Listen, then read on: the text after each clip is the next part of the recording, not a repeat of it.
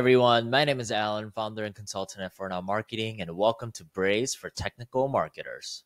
Today, we're going to talk about how to send an internal message based on a user's trigger. So, but by internal message, I mean an email to any internal email address, maybe a customer support email address or any other internal email address. Um, and then it can even be actually a Slack message to a private channel you have set up internally. And then it will be based um, on the user's action or an event that happens to a user. So maybe the team has something you want to keep track of based on users performing certain actions or users going through a certain action. And we will set up a Braze campaign um, to keep us alerted internally whenever that happens. Let's get started. So any email that gets sent out of Braze, uh, for any email address to receive that email, they need to be a user profile in Braze. And we are going to uh, talk about today's tutorial, assuming we're going with the email route. So first we need to create a user profile containing this email address that we want to receive the internal email. And I have what's called a users track um, external ID and email template. Um, I will be happy to share the code below but I'm going to go ahead and open that. And the blurred portion includes our API key, so that is blurred for security. Um, but the profile that has the email address doesn't even really need to be a profile with an external ID. It can be a user alias profile as well. Um, just to keep it simple, I will go ahead and give it an external ID internal. And then let's say that this is the email address that we want to send the email to whenever users perform a certain action. So if I go ahead and click test and send test, this should successfully create that user profile. Not that one. but We're going to search for internal. So this should successfully create the user profile that will that now holds the email address that and that makes it possible for Braze to send email to this profile. So we're going to first create the email that gets sent to the email address that we just looked at. We're actually going to need to create two campaigns for this use case, and this is the first one. Um, so I've gone ahead and named it internal email based on user action slash event, and then gave it a subject of internal test. And then the other cool thing we could do is in this email, we can even include some data or some properties of the user who triggered this email. Um, and we will not be using the uh, the standard custom attribute or basic attributes, but we will have to include these parameters as API trigger properties.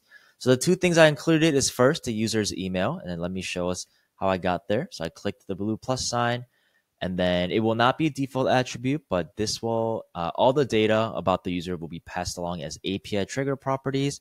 We're going to have to name one of the fields email, but insert personalization there. And then the other value that I wanted to include is the value of the user's custom attribute that changed. Um, so let's assume that we are going to trigger the user event that we're looking for is a change in custom attribute. Um, we want to include what did it change to.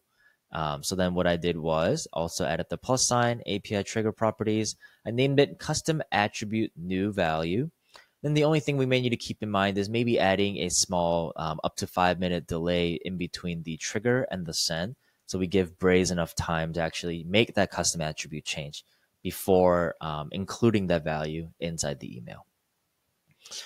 Uh, and then the schedule delivery is going to be API triggered. So if you choose API triggered, uh, it gives us the campaign ID, which we will need in just a minute. So anytime this campaign receives a ping or a trigger to this ID, that is the only time that this email will be sent.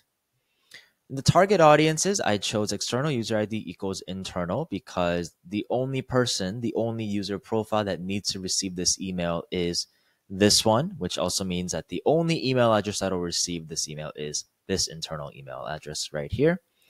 Don't forget to scroll down and uncheck control group so we can send one all 100%. Um, no conversion events needed for that one. And then let's go ahead and update and launch the campaign. And once again, uh, we can have peace of mind launching that campaign because it's an API triggered campaign even though we hit launch, it's not going to send any emails until that campaign ID is set up elsewhere and that, you know, maybe there's a script or some logic that's pinging that campaign ID. So until that is set up, uh, even if we go and launch this campaign, this will not be sending any messages. Awesome. So now that we have the actual email set up, we're going to have to set up another campaign. And this one's going to be a webhook campaign that is triggered by the user's action or the event. And this webhook campaign is kind of the communicator or the bridge or the connector in between the user profile and then um, the rec- receiving email address. So I'm going to create a webhook campaign this time, and I will be naming this one user action slash event um, arrow trigger internal message. And I have another webhook template, which uh, once again I will be sharing below. But this one is going to be called campaigns trigger send. So this API endpoint is what allows us to send API triggered campaigns. There's also a schedule endpoint, which we can time when to send later. Um, but for now, we want to send it right away.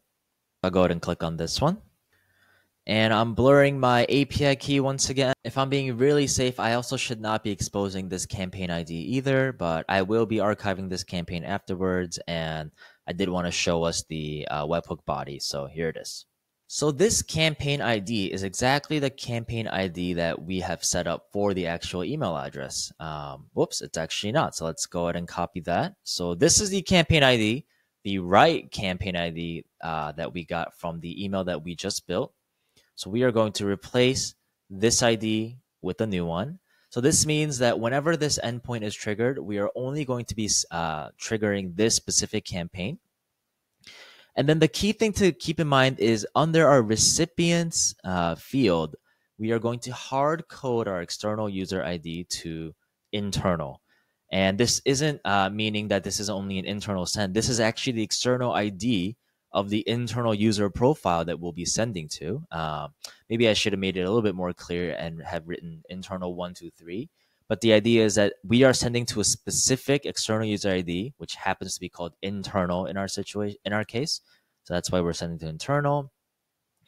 And then the trigger property. So this is where um, the parameters come into play. So let's say we actually want to include the triggering user's email address um, inside our receiving email. So we can create a field called email, and that can be uh, the Braze Liquid um, you know standard attribute email address. And then the other one that we wanted to include, I may have to go back and edit and see what we named it exactly. The naming matters exactly here. Um, so we called it custom attribute new value. So the other one we're going to include is custom attribute new value. And let's say that this email gets triggered. Um, we're skipping steps here real quick, but Let's say that this email gets triggered when a user's custom attribute value changes. Um, and then we have a custom attribute called promo. So promo code. So any new value. So when a user's um, promo code that is on their user profile changes to any new value, that is what will trigger this campaign. And we will go ahead and add a five minute uh, delay, like I mentioned, uh, to avoid any race conditions so that we give Braze enough time to log this change in custom attribute. And then promo code will be the second parameter that we pass along here. So um, I put a comma after the email, add a new trigger property called custom attribute new value, and then we will grab that using the custom attribute syntax. So just to show us what I did, uh, put it in between quotes, add, add personalization, custom attribute, Let's look for the user's actual promo code value, copy that, and I'm going to insert it in between the quotes. So these are the uh, you know personal data that I'm passing along with the user trigger, and then that can be included inside the email. Actually, that part's already set up. It is already set up in our um, actual email, as you can see right here. All right, so we are ready to um, send this, uh, launch this email. So once again, it's really only triggered uh, when changing custom attribute, promo code is any new value. So we can go ahead and uh, launch this one. This one I will send to all users. So any users, uh, you know, can trigger that internal list. That can look different for you if you're only looking for a specific uh, subset of your user base. All right, so I have gone ahead and launched that campaign. Uh, the webhook is live as well as the actual email is live as well. And here's how I'm going to test this. So I am going to use another webhook just to update my user profile. So I'm going to be updating this user profile, which is the one that we saw over here, and I'm going to give it a new promo code. So the promo code is now going to be A, B, C, D, E, F, G. I'm going to go ahead and test, send test. Whoops, there's an issue here. Of course, maybe we had one too many brackets. So let's do a little bit of cleaning up. Um, it looks like I didn't fully delete all the previous syntax. Okay, we should be good here. Let's try sending the test again. Awesome, 201 created. And if we navigate to our user profile and wait for that promo code to change, okay, so that just changed, which means our campaign should have been triggered. So this is a campaign that should have been triggered uh, based on changing custom attribute. Um, because we put the five minute delay, we may not see any updates on the analytics uh, for another five minutes. So I will check back in five minutes. All right, it has been five minutes. Just refreshed, got the one in message sent.